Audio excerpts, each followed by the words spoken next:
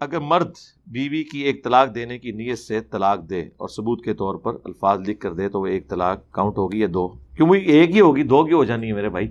सबूत के तौर पे वो जो लिख के दे रहा है ना, उस सफ़े के ऊपर वो पचास दफ़ा भी लिख देना कि मैं एक तलाक देता हूँ, और वो एक की नीयत ही सिर्फ़ रिपीट करने के लिए उसने किया है तो वो पचास तलाकें नहीं, वो एक ही तलाक होगी, जब तक कि वो तीन ना दे। तीन इकट्ठी देना वैसे ही हराम है।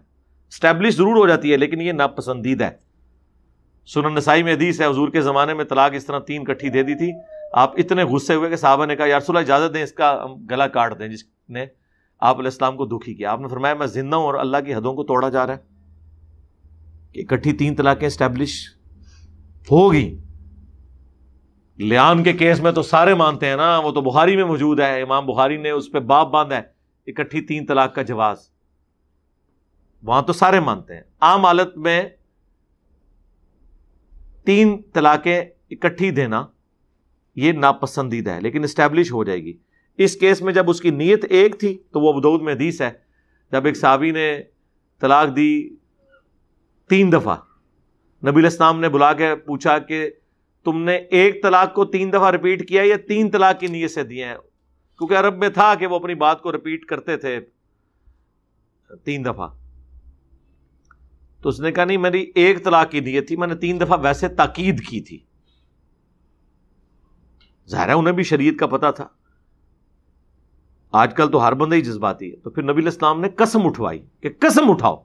फिर उसने कसम उठाई कि अल्लाह के नबी, मैं कसम खाता हूँ कि मैंने तीन दफ़ा जो तलाक को रिपीट किया, एक तलाक की नीयत से किया।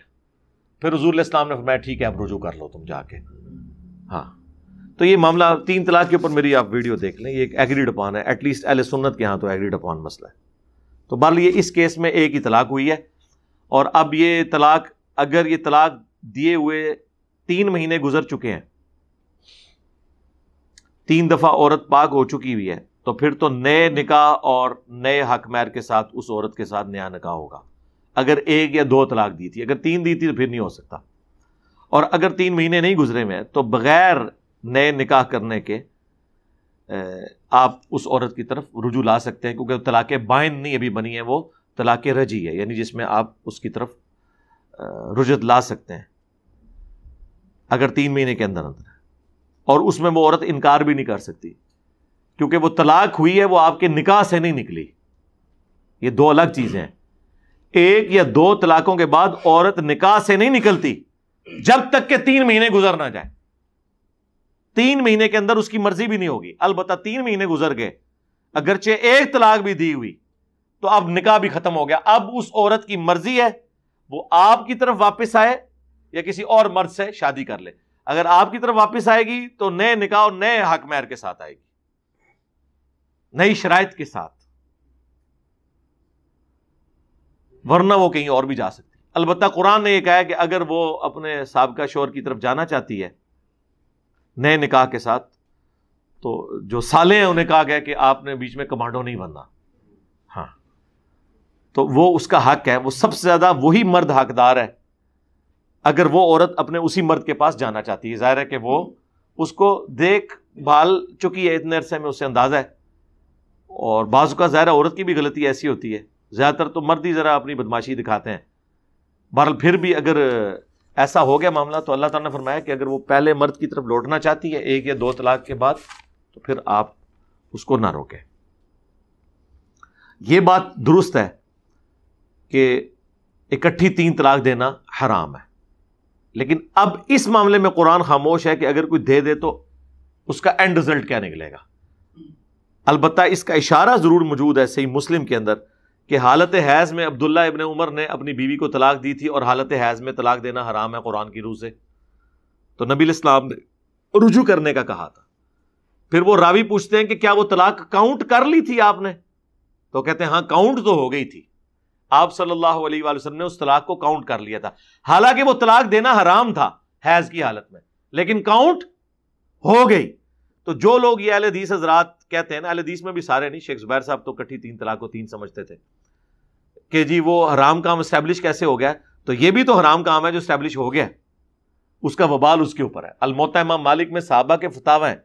इस प्लानट अर्थ के ऊपर सबसे पहले जो बाकायदा हदीस की किताब है, अलमोता इमाम मालिक है, उसमें आप तलाक का चैप्टर खोल के देख लें। ये इमाम बुहारी इमाम मुस्लिम, ये सब लोग उनके शागिर्दों के शागिर्द हैं आगे से। तो उसमें बाकायदा मौजूद है।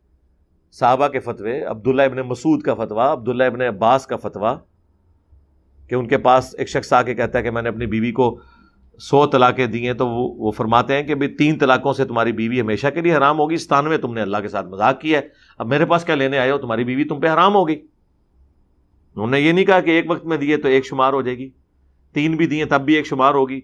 वो मुस्लिम शरीफ की जिस हदीस से सहारा लेते हैं, वो हदीस गैर मदखूला के लिए जिस मर्दो औरत ने आपस में सोबत ना की हो। इमाम नसाई ने मुस्लिम शरीफ की इस हदीस के ऊपर बाप बांधा है कि यह हदीस उस औरत के बारे में है जिसके साथ मर्द ने सोबत न की हो। वन सोबत हो गई, फिर वो मदखूला है। फिर उसकी एक वक्त में दी गई तीन तलाकें तीन तस्वर होंगे। और अगर वो मदखूला नहीं है तो फिर तीन दी हुई एक ही शुमार होगी और दोबारा निकाह भी हो सकता है। ये सारे मसाइल मैंने मुख्तलिफ़ जगह स्कैटर्ड फॉर्म में बयान किए बाकी फतवे लेने के लिए जो लोग पहुँच जाते हैं, वो कट्टर किस्म के ब्रेलवी जो है ना, वो अहल हदीसों के पास फतवे लेने के लिए पहुँचे होते हैं। वो सिर्फ़ चंद सेकंड्स के लिए अहल हदीस होने की अनाउंसमेंट करते हैं। ना वो गेट में दाखिल होने से पहले अहल हदीस होते हैं और ना निकलने के बाद अहल हदीस होते हैं। बस वो उस फतवे के दौरान ही अहल हदीस होते हैं। एक मजिस की तीन तलाकें, उसके बाद फिर से घर वालों के मजबूर करने पर तो नजायज़ है जी मेरे भाई, मैं क्या करूँ? पहले नहीं थी ना तलाक देनी